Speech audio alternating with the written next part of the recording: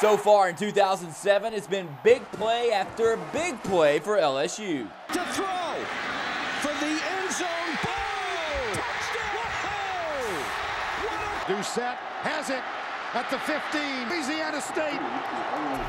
Number 15, Matt Flynn, the quarterback, has led the way, but no play has been more famous than this They one. give it to David, and he heads for the corner. LSU.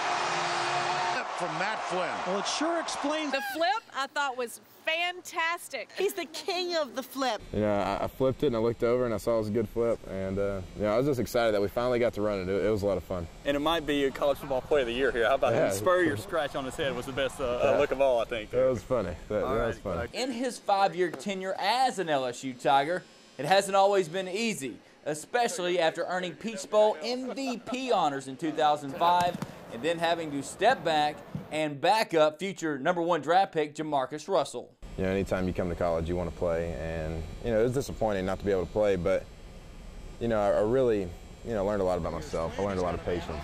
You know, honestly, I wouldn't, I wouldn't trade this one year of leading this team for four years starting anywhere else.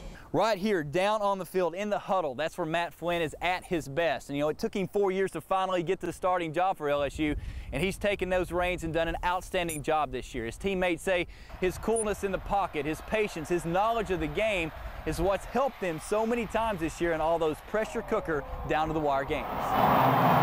You know, he's the kind of dude you want leading your offense. You know, he's just he's such a good leader. He never gets, you know, just uh, he's never he never looks like he has pressure on him. You know, we've had some crazy games, you know, a bunch of fourth down conversions, last minute plays. So it, it's been fun. You see yourself in that championship game because you, you, you got a pretty good path there. We we realize that you know we're in control of our own destiny right now, and we realize that we have to play good. You know what everyone says, kind of coaches talk, but it really is true. You you realize that if you want to get somewhere, that you got to take it one step at a time. You have to you have to you have to keep the process in mind. So, what does uh, one of the top quarterbacks in the SEC think about his hometown of Tyler, Texas, tuning in each Saturday to check out the purple and gold? Does that make you feel pretty good knowing the uh, whole city's kind of looking after you? two Yeah, I mean, I'm uh, you know I'm proud to say I'm from Tyler, and uh, you know I'm, I'm proud to show everyone that, and uh, you know it's it's fun to you know have people tune into LSU, and so you know we're just trying to you know make our families proud, make our friends proud.